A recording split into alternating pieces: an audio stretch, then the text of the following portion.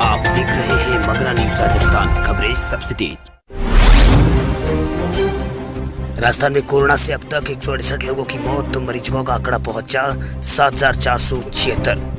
राजस्थान में corona positive मरीजों की संख्या लगातार बढ़ रही है। सरकार की सैकड़ों कोशिशों के बावजूद भी यहाँ पर कोरोना के मरीज़ हर लगातार रोज बढ़ रहे हैं। छब्बीस मई दोपहर दो बजे तक छिहत्तर नए मामले सामने इसके बाद यहाँ पर कोरोना मरीजों का आंकड़ा सात हज़ार चार सौ छिहत्तर तक पहुँच गया है। राजस्थान में मंगलवार दोपहर दो बजे तक एक सौ छिहत्तर नए पॉजिटिव केस दर्ज हुए। इसके बाद राजस्थान में कोरोना एक्टिव संख्या की, केस की संख्या भी तीन हज़ार एक सौ तिरालीस हो गई है। वही कुल मरीज़ पॉजिटिव से नेगेटिव हुई उनकी संख्या चार हज़ार एक सौ पैंसठ हो गई है।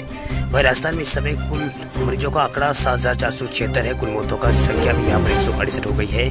वही राज्य के जगहों की बात करें तो मंगलवार को दोपहर दो बजे तक अजमेर से दो केस आए थे। बाड़मेर से चार, भरतपुर से दो, भिलवाड़ा से चार, बीकानेर से पाँच, चित्तौड़गढ़ से चार और धौलपुर से दो, गंगानगर से एक, जयपुर से इक्कीस, झालावाड़ से झालावाड़ से बारह और झुंझुनू से पाँच और जोधपुर से चार केस आए हैं। वहीं नागौर से दस और नागौर नागौर से नागौर से सात केस और कोटा से दस सामने आए वहीं पाली से दस, प्रतापगढ़ से एक और राजसमंद से ग्यारह केस सामने आए सवाई माधोपुर से एक और, सीकर से उन्नीस और सिरोही से सत्ताईस और उदयपुर से चौबीस नए कोरोना केस आए हैं। राजस्थान में प्रवासी कोरोना पॉजिटिव की कुल संख्या भी उन्नीस हो गई है। सबसे अधिक डूंगरपुर से कोरोना पॉजिटिव है राजस्थान में।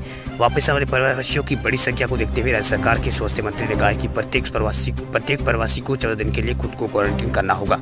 वही स्वास्थ्य मंत्री ने चेतावनी देते हुए कहा कि प्रवासियों की वापसी एक चुनौती पेश करती है और सरकार ने इसलिए क्वारंटीन को प्रमुखता के रूप में निर्धारित किया है। उन्होंने कहा कि स्वास्थ्य विभाग क्वारंटीन सुविधाओं को मज़बूत करने पर ध्यान केंद्रित कर रहा है। राज्य मंत्री ने स्थानीय प्रतिनिधियों से आग्रह किया कि वे अपने सभी क्षेत्रों में ये सुनिश्चित करें कि उनके क्षेत्र में पर्याप्त सुविधाएँ हो। राजस्थान में आमजन को मिली बड़ी राहत, तब शादी समारोह के लिए अनुमति की ज़रूरत नहीं।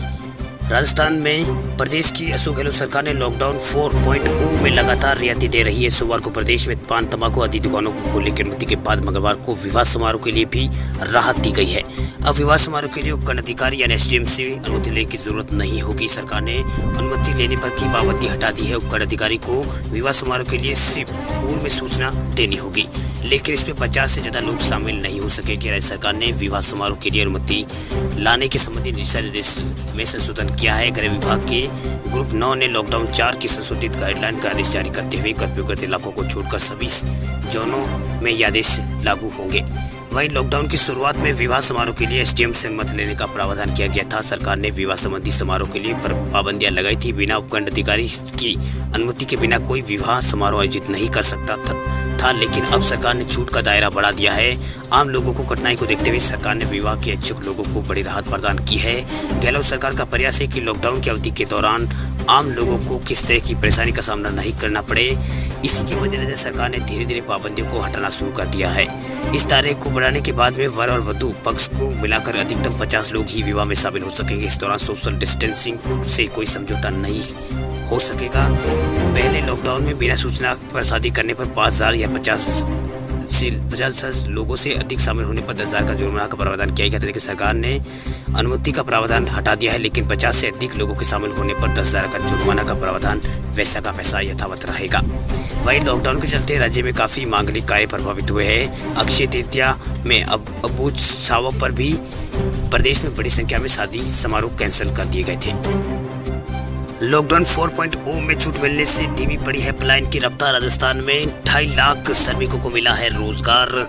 राजस्थान में सवा पाँच लाख प्रवासी आने के लिए रजिस्ट्रेशन तो करवाया, लेकिन अभी तक लौटे नहीं है लॉकडाउन 4.0 में उद्योगों को छूट मिलने से पलायन की रफ्तार धीमी हो गई है। प्रदेश में बारह दशमलव इक्यावन लाख प्रवासियों ने ऑनलाइन रजिस्ट्रेशन करवाया था, लेकिन इसमें सात लाख पच्चीस हज़ार लोगों ने पच्चीस हज़ार लोग ही राज्य में आए हैं। प्रदेश में दूसरे राज्यों से आने वाले बारह दशमलव इक्यावन लाख लोगों ने ऑनलाइन रजिस्ट्रेशन करवाया था। वही राजस्थान से जाने के लिए 11 लाख और पैंतीस हज़ार लोगों ने रजिस्ट्रेशन है। लेकिन सरकार के आंकड़ों के अनुसार अभी तक दो लाख तैंतीस हज़ार श्रमिक ही आए हैं।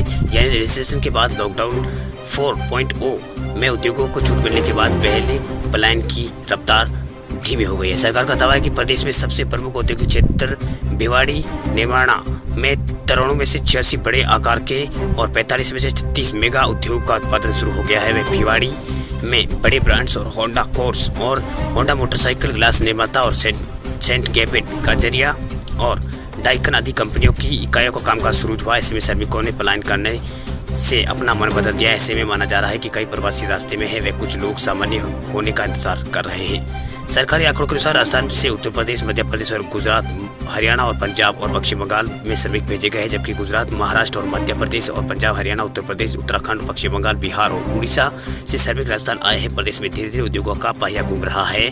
श्रमिकों का श्रमिकों को रोज़गार मिल रहा है। लॉकडाउन चार में 21 मई से 31 मई तक क्रियाशील है। वही सरकारी आंकड़ों के अनुसार इस दौरान करीब ढाई लाख मजदूरों को राजस्थान में रोज़गार मिला है। वर्तमान की परिस्थितियों और संकट के दौर से गुजर रहे लाखों की संख्या में प्रवासी श्रमिकों और किसानों और संगठित क्षेत्रों के काम करो। और छोटे कारोबारी और दैनिक मजदूरी की आवाज़ को केंद्र सरकार तक पहुँचाने के उद्देश्य से अखिल भारतीय कांग्रेस कमेटी के निर्देश अनुसार राजस्थान प्रदेश कांग्रेस कमेटी द्वारा गुरुवार 28 मई 2020 को प्रातः 11 बजे से दोपहर दो बजे तक ऑनलाइन अभियान चलाया जाएगा। इस संबंध में आज अखिल भारतीय कांग्रेस कमेटी के महासचिव के सी वेणुगोपाल द्वारा आज समस्त राज्यों के प्रदेश कांग्रेस अध्यक्षों और कांग्रेस विधायक दल के नेताओं को वीसी के माध्यम से बैठक आयोजित की गई, जिसमें यह ऑनलाइन अभियान की तैयारियों पर विस्तृत चर्चा की गई। राजस्थान प्रदेश कांग्रेस कमेटी के अध्यक्ष और मुख्यमंत्री सचिन पायलट ने बताया कि कांग्रेस पार्टी के अध्यक्ष सोनिया गांधी और राहुल गांधी द्वारा समय समय पर केंद्र को प्रवासी श्रमिकों और मजदूरों की पीड़ा को कम करने हेतु अनेक उपयोगी सुझाव दिए गए, जहाँ केंद्र सरकार ने जिनको सिरे से निकाल दिया है। वही प्रवासी श्रमिकों और किसानों और दैनिक मजदूर काम करने वाले लघु उद्यमियों और गैर संगठित क्षेत्रों के कामगारों को किस प्रकार का सहयोग करने की बजाय अपने हाल पर छोड़ दिया है।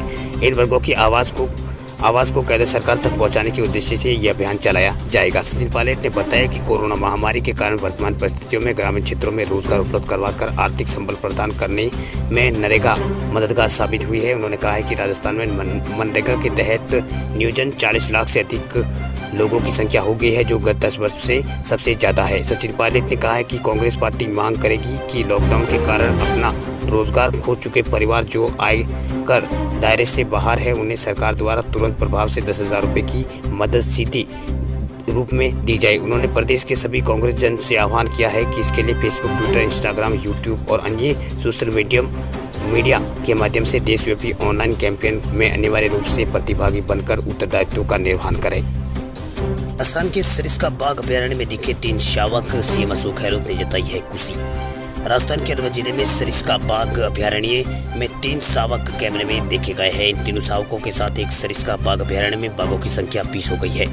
मुख्यमंत्री अशोक गहलोत ने ट्वीट करके कहा है कि कोरोना वायरस की चिंताओं के बीच बागिन एक्ट बारह एस ने अच्छी खबर दी है। सरिस्का बाघ अभ्यारण्य में 2020 में 20 बाघ हो गए हैं। उन्होंने कहा कि इनकी अच्छा राज्य की इच्छा और राज्य के जंगली जिंदगियों को देखने को मिली है।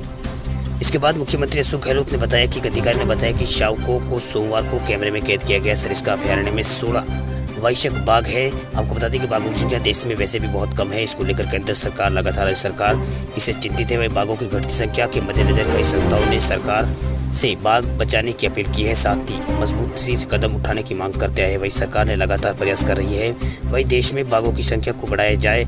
ऐसे में अलवर ज़िले की सरिस्का बाघ अभ्यारण्य से आई ये तस्वीर काफ़ी सुखद की बात है।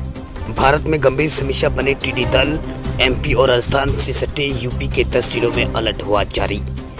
टीडियो के दल ने उत्तर भारत भारत के कई प्रदेशों में मुश्किलें बढ़ा दी है। फ़सल को चट करने वाली टीडियो का ये दल आने वाले दिनों में मध्य प्रदेश, राजस्थान और उत्तर प्रदेश में कम से कम दस जिलों में हमला कर फ़सलों को नुकसान पहुँचा सकता है। टीडियो के इस प्रकोप का सामना करने के लिए राष्ट्रीय सरकारों ने भी अपनी तैयारियाँ कर ली है। टीडियो के हमले को देखते हुए तीन राज्यों में करीब दस जिलों में अलर्ट जारी किया गया है। पाकिस्तान की तरफ़ से आने वाले टीडियो के दल इतना खतरनाक था कि ये रास्ते की फ़सलें सब्जियों को पूरी तरह से चट कर रही है। फ़सलों और सब्जियों की ये जिस तरह उनको बर्बाद कर रही है उससे आने वाले समय में खाद्य आपूर्ति की चैन और करोड़ों लोगों की आजीविका पर संकट खड़ा हो सकता है। राजस्थान, मध्य प्रदेश और महाराष्ट्र में इनका प्रकोप बढ़ता जा रहा है। आशंका जताई जा रही है कभी यूपी के कुछ ज़िले भी इसमें शामिल हो सकते हैं। मध्य प्रदेश, राजस्थान के साथ साथ अब यूपी के जिलों पर टीडियो के हमले की आशंका बनी हुई इसे देखते हुए प्रशासन सचेत है। उसने राजस्थान एमपी से लगने वाले कम से कम दस जिलों में अलर्ट जारी कर दिया है। वही टीडियो का यह दल राजस्थान और मध्य प्रदेश के कई जिलों में फ़सलों और सब्जियों को नुकसान पहुँचा रहा है। हालाँकि दिनों में इनकी हमले कृषि को, इनके हमलों से कृषि को काफ़ी नुकसान पहुँचा है। मध्य प्रदेश के सिरोही, मध्य प्रदेश के सीहोर ज़िले के बुद्धन एवं नसुल्लागंज के किसान अपनी फ़सल नष्ट होने से काफ़ी परेशान है। यहाँ के किसान थाली पीट कर खेतों से टिडिया को भगा रहे हैं। टिडिया का ये दल आसपास के पेड़ों और झाड़ियों में बसेरा ना बनाए, इसके लिए भी उन पर कीटनाशक छिड़काव भी किया जा रहा है। कृषि वैज्ञानिक जितेंद्र कुमार का कहना है कि टिड्डियों के हमले से ये फ़सलों का नुकसान का खतरा बना हुआ है। कृषि विभाग और प्रशासन इस हमले पर, मसले पर अपनी नज़र बनाया हुआ है।